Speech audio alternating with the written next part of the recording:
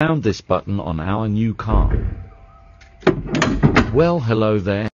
Dude, seriously, why the hell you got me sitting here? Bro, just wait. Let me hit this button.